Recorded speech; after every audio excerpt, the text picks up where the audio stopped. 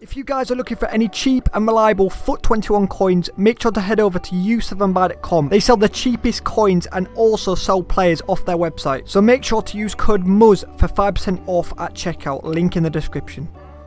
Yes lads and welcome back to a brand new video. I am not sure what today's pack actually is. I'm guessing it's a 92 plus player pick. One of four as well. Yeah, 92 or higher.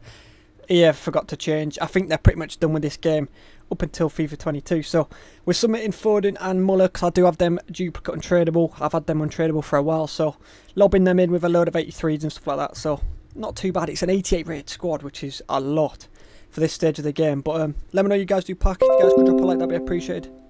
Let's see what we can get. One of four. Let's put them in the club. Right, one of four. Messi. Messi. That's, that might be my first ever pack pulled Messi, actually.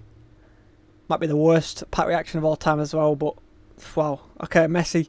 Won't play a game with him, but welcome to the club.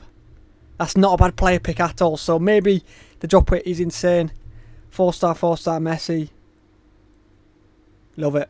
I mean, he'll stay in the club nicely. He'll stay in the club nicely. So there we go, it, boys. Let me know you guys do pack, and I'll catch you in the next one. Peace.